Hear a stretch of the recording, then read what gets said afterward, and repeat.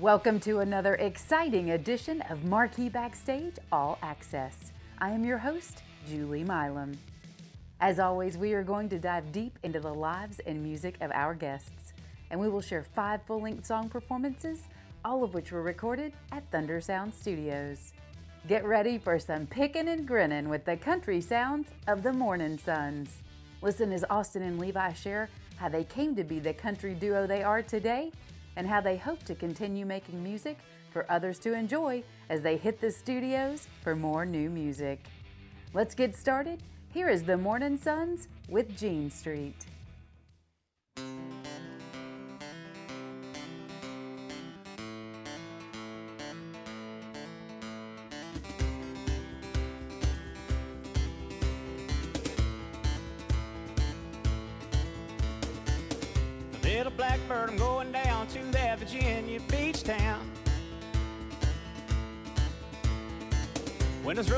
Down, cigarettes are hanging down my mouth. I'm going down.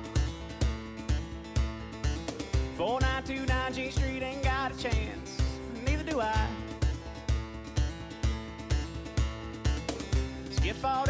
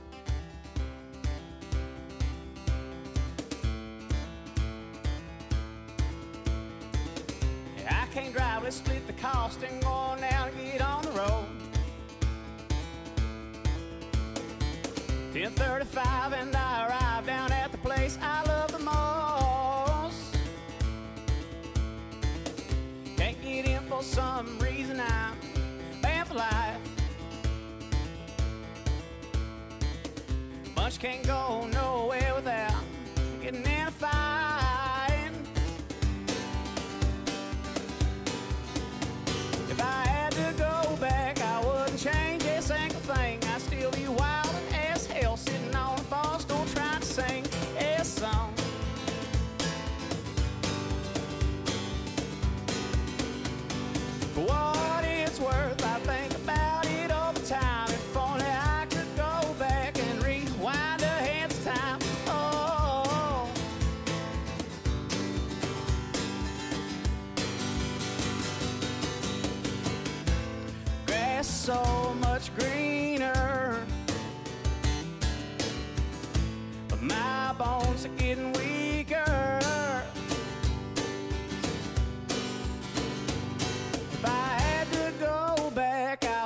change a single thing. I'd still be wild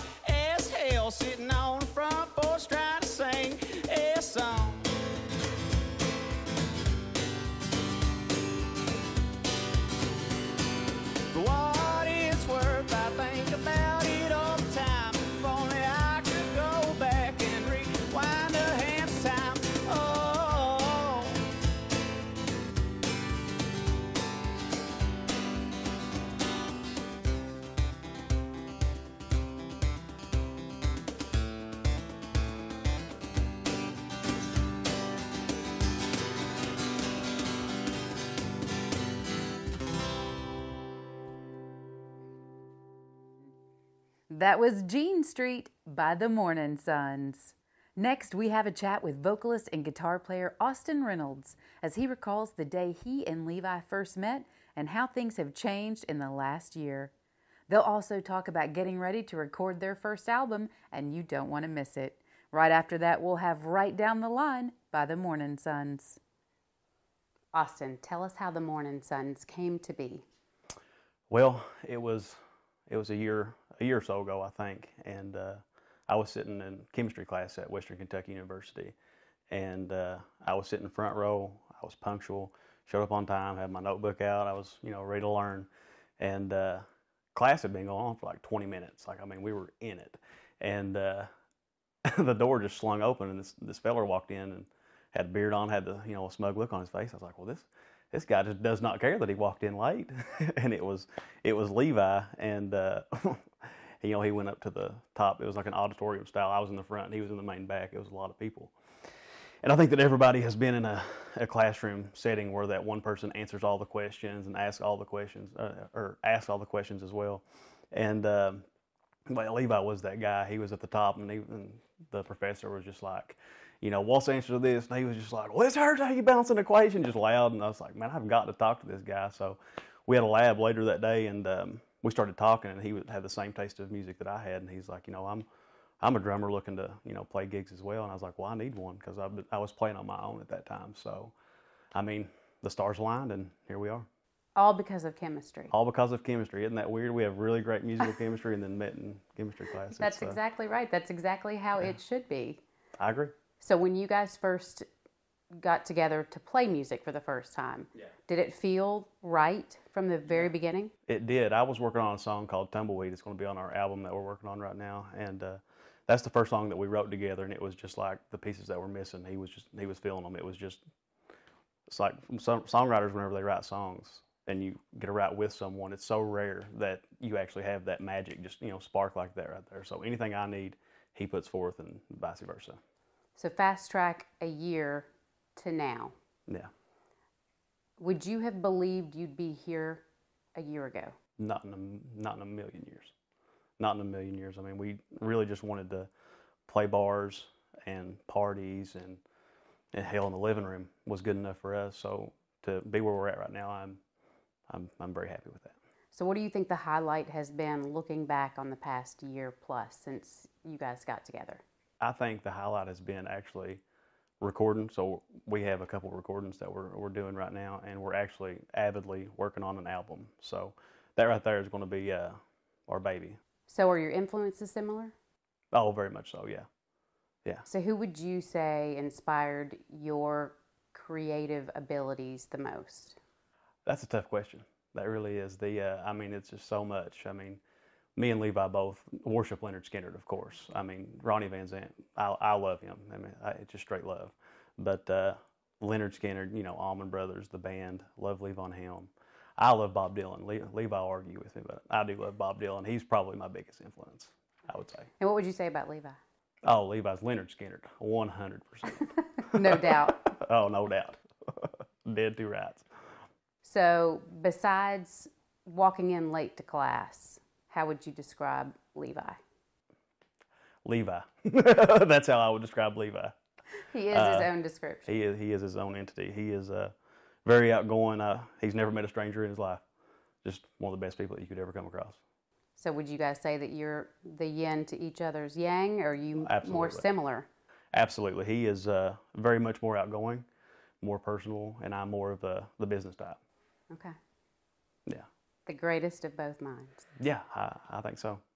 Well, we can't wait to Yeah. explore more Yeah. of the Morning Sons. Right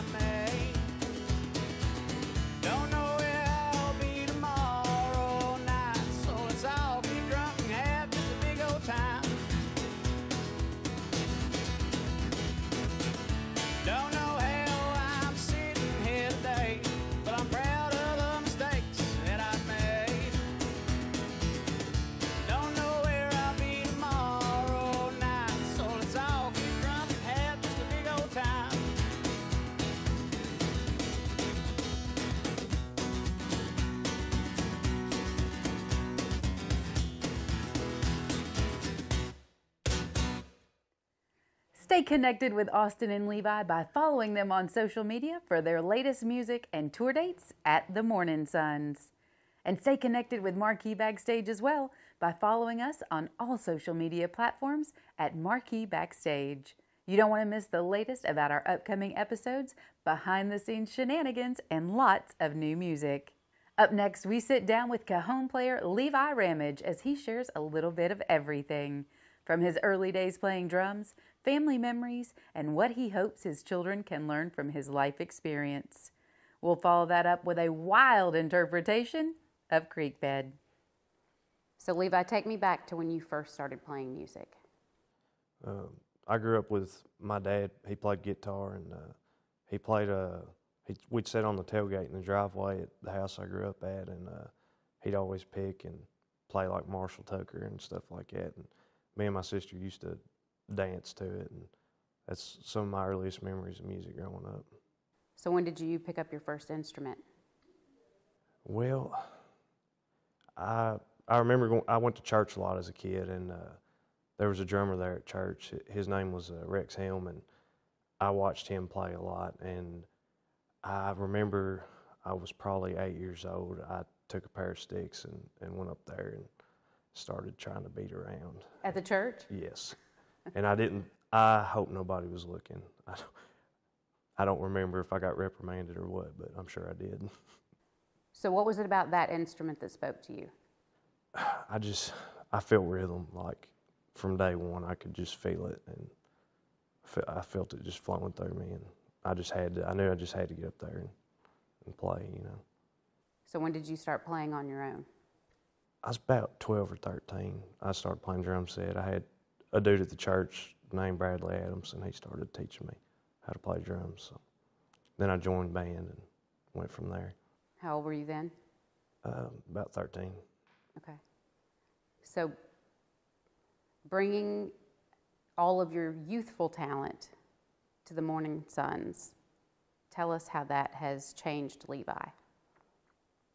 It's opened up doors that I never thought, like, uh, I mean, I got to Bowling Green, I didn't know anybody except for my aunts, and uh, I met Austin, and and he he was writing songs and and that I really got into, and uh, so I I started just you know uh, playing drums to that and all that. So yeah.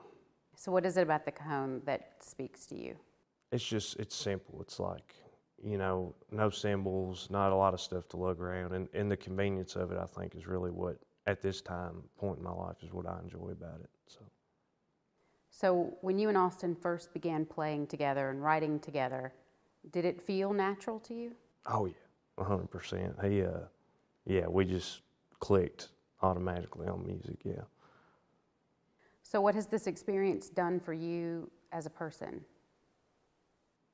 It's, um, it's definitely made me a better person, and it's opened up creative parts of my mind that I really didn't I never explored. I guess I was kind of hesitant to delve into, but got into them, and I, you know, we flourished from there. I guess. So, what is something about Levi, or about Austin, or about the Morning Sons that you think people would never believe if you told them?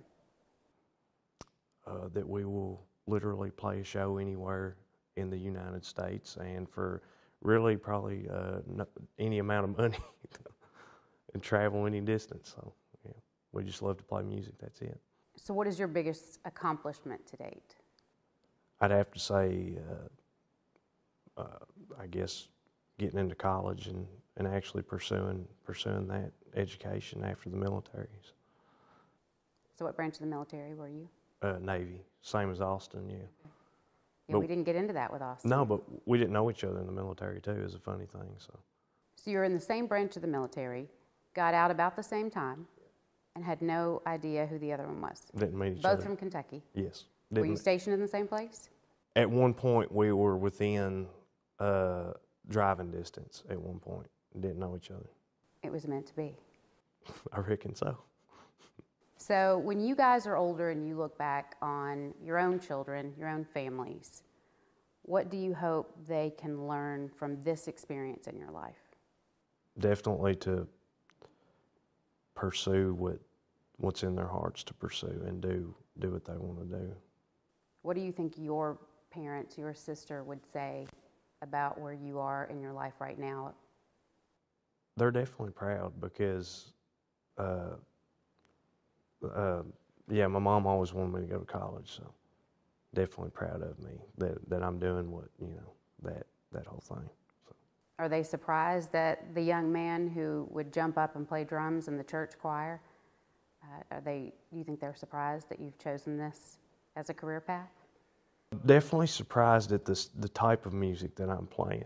Oh, really? Yeah, I definitely say that. Yeah, it's definitely not gospel music. So Is that where they thought you'd go? no, I, I believe that they knew fully well I wouldn't go that way, but they would probably hope that I would have. And I, so yeah, Does your family come out and watch you play? yeah, yeah. They've they've been out plenty of times to see me. And how is that for you? It's good. It's a little, it's a little nerve wracking because I'm they're really good musicians. My sister is an excellent singer, and my dad is a great guitar player, and so it's, it's a little.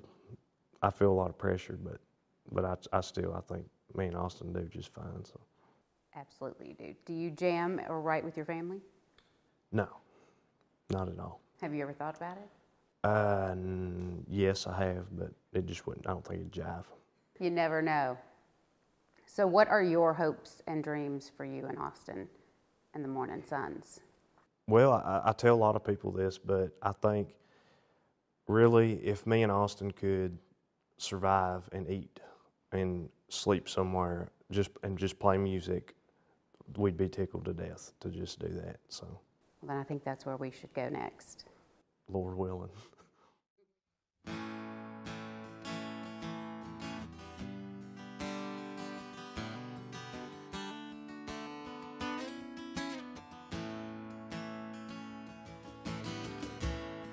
Was a youngin', hills I'd run, fighting fires with a tank full of oxygen.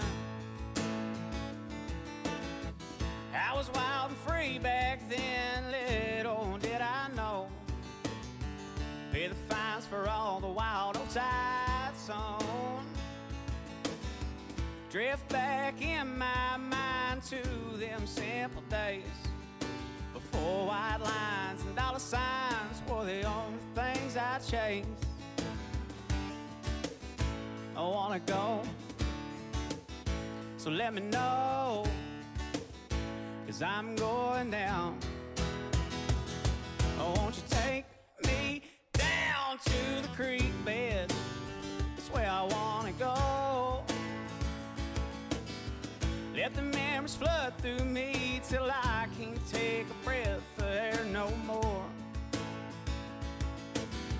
Sweet tempest of my youth, won't you baptize me with some 90 proof?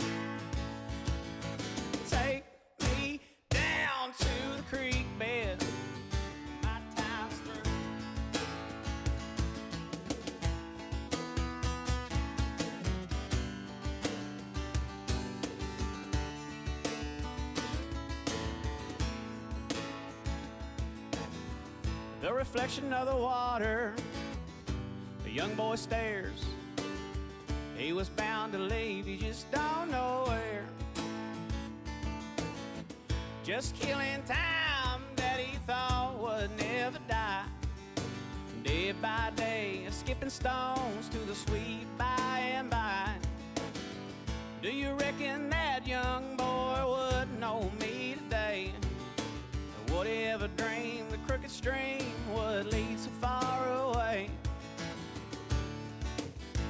wanna go, so let me know, cause I'm going down. So won't you take me down to the creek bed? That's where I wanna go. Let the memories flood through me till I can't take a breath of air sweet tempest of my youth. Won't you baptize me with some 90 proof? Take me down to the creek bed when my time is through.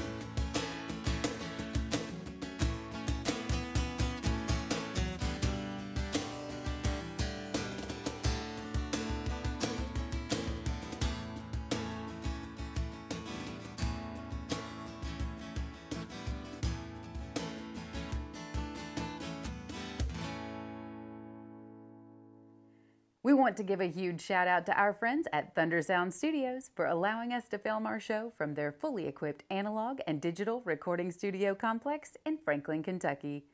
For more information about Thunder Sound, please visit thundersound.com or follow them on social media at Thunder Sound Studio. We have one final conversation with Austin and Levi today as we chat about this year's plans and what they hope their fans can take from their music to make their own lives richer. And speaking of inspiring others, the Morning Sons perform Heart and Mind only on Marquee Backstage All Access. So the magic that is the Morning Sons, right here with us in real life, real time. Where do we go from here? We are um, we're going to go play out west. We're trying to get uh, out of state. We've been playing all over Kentucky, and we're very Kentucky proud. So we love that. But we want to venture out and kind of reach out to people who might want to listen to us. So Grow that audience for sure. Absolutely, yes. And we're uh, we're working on an album right now, so um, that's going to be happening very soon. It's going to be on Spotify, all your streaming services. So that's the the biggest thing that we're pushing for as a group right now, and it's a it's a big hill to climb, but I'm anxious. Yeah. So if we could blow your minds, where do you think, in your wildest dreams, you could be 12 months from now? Where do you think that would be? We think you think, Herbo? Well, I shoot for the stars, Levi. Manchester Music Hall in Lexington, Kentucky, or the SKyPAC in Bowling Green, Kentucky. Yeah. Hey, absolutely. That yeah. would be, or I mean, just playing with artists that we look up to, and uh, that we listen to ourselves. I think would be fantastic. So, if we created the Morning Sons Festival, who would you want to play? Who would we want to play? Man, I mean, I'd definitely say Tyler Childers, one hundred percent. I would say all the, the Kentucky musicians, Chris Nick Jamerson. Knight. Uh, we, we seen Grayson Jenkins the other day. Yeah, Grayson awesome. Jenkins. I'd love so, for him to. Yeah. Yeah, um, a good Kentucky festival. So when your phone rings or you check your email and there's something unexpected there from an artist or a show or a festival, like what does that feel like to you guys when you see that people are are asking for your music, they're seeking you out? It's insane. it, it is the most bizarre thing that I've ever seen. Like if you play a show and people know your words and they're singing it and they're dancing to it, isn't it, Levi? It's just bizarre that people are interested in something that you love so much. It's just, it's it's crazy, and I hope that anyone can actually feel that because it is just unique to say the least. Well, you've both shared with me artists that you were inspired by that you grew up listening to. Mm-hmm. So the next generation grows up listening to and becomes inspired by the Morning Sons.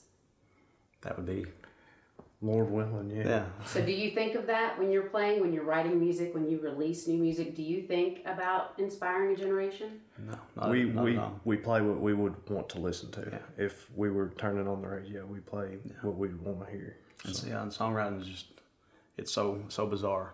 It's uh it's not even about like I would never just sit down and write about that brown chair. It's it's a feeling. It's just like I love it. So I mean, it absolutely is a, a, feeling. It comes to you. You don't go. I don't go out searching for songs. I have to go through some stuff to actually write a song. It's personal. It's a story. So you never really worry. Like you never think like, well, I'm writing this song. Maybe that'll influence you know little Tommy down the street. I don't know.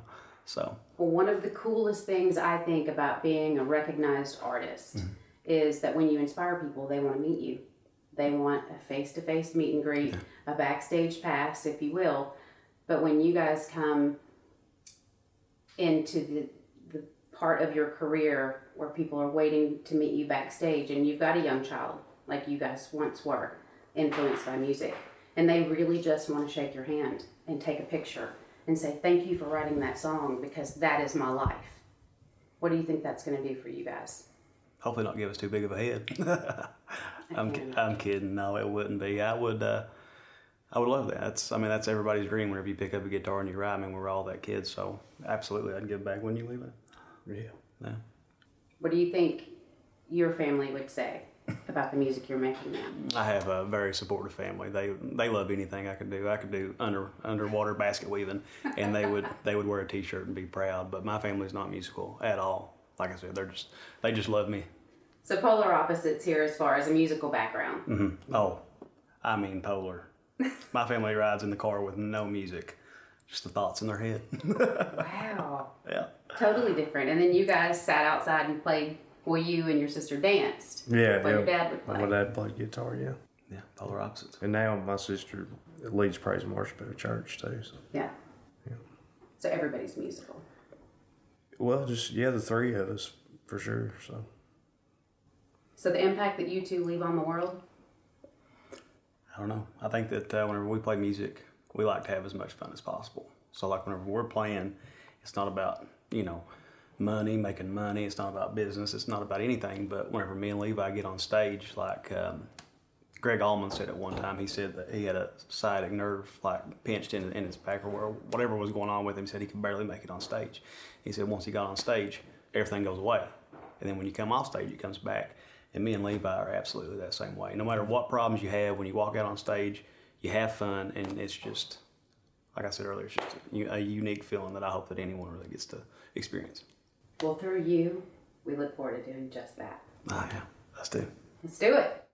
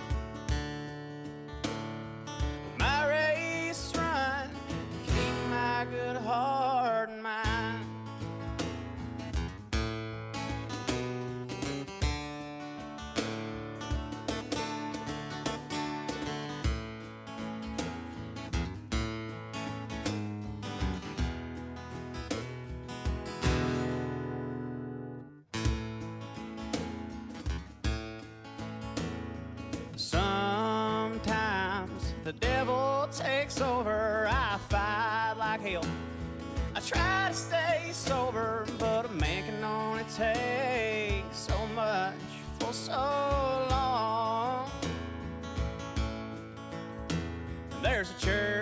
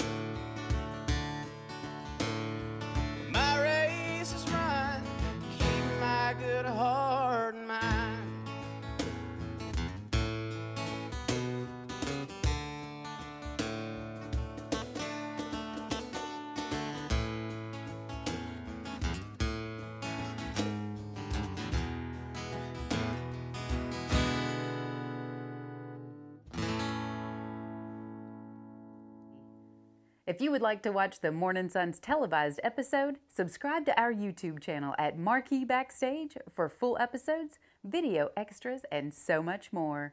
We've had a great time with you today, and we hope you've had a good time as well. Next week, tune in for a cast of characters you will never forget. Hurts to Laugh is taking over Marquee Backstage, and it is one you don't want to miss. Now, for one last performance, here is the Morning Sons with She Gone. I'm your host, Julie Milam, and I'll meet you here next week for more Marquee Backstage All Access.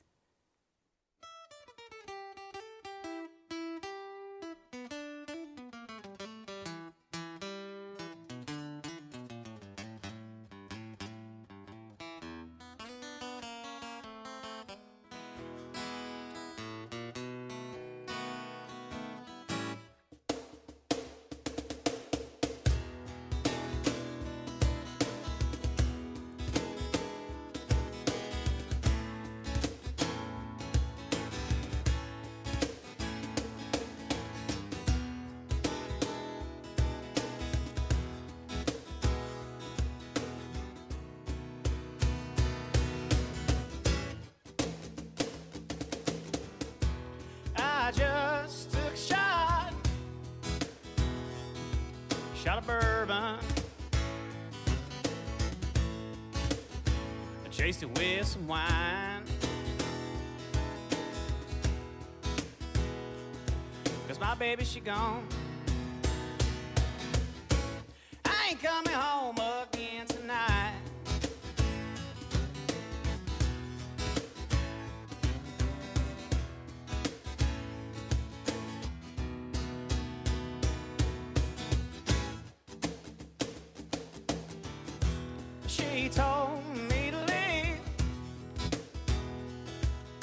sat right down. I kicked up my feet. And she beat me to the door.